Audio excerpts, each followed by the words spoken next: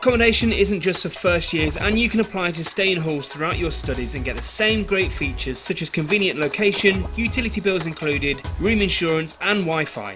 Plus the added benefit of pastoral support and on-site security. Over a third of rooms are available to returning students and applications close at the end of January.